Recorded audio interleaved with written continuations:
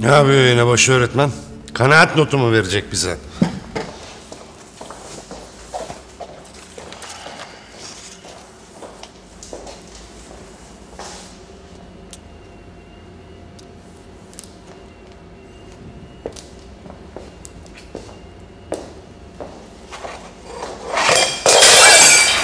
Ay ne oluyor ya?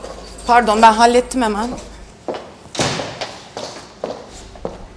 İlk defa yapıyordun değil mi sen bu işi? Evet. Barda mı çalışmaya devam edeceğim bundan sonra?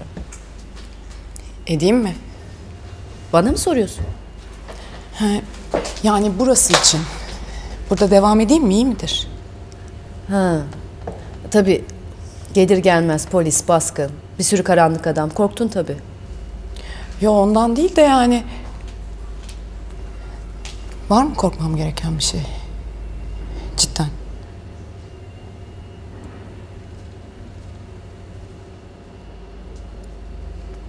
Tamam. Tamam tamam. Vazgeçtim. Sormadım farz edin.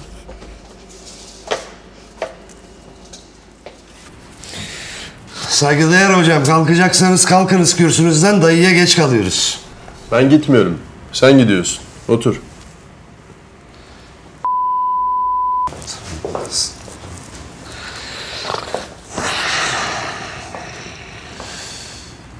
Seni bir daha hiç affetmeyeceğim abi.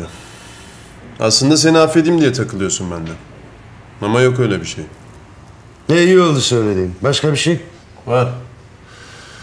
Şu birkaç ay ne boktan şeyler oldu değil mi? Kurban mı keseceğiz, adak mı adayacağız? Ne diyeceksen de oğlum. Diyeceğim Hay başlayacağım diyeceğine yine dayı gibi dura dura konuşuyorsun. Çocuk gibi adamı karşına alıp duruyorsun. Gelmiyorsan ben gidiyorum. Sonra söylersin ne söyleyeceksen. Yeter lan. Diyeceğim onca kötü şey oldu. Bir tane de iyi bir şey oldu.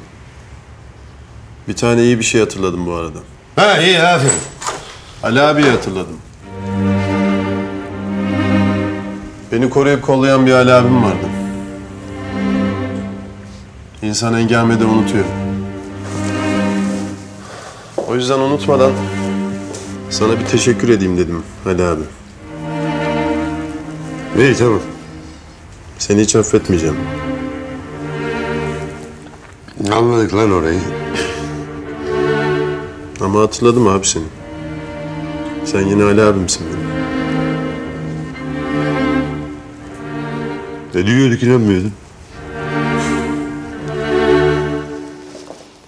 Yani dön bence sen yol yakınken. Şebnem.